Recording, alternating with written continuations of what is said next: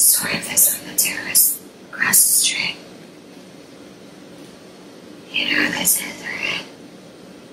Anthrax or cocaine. Another one way to find out.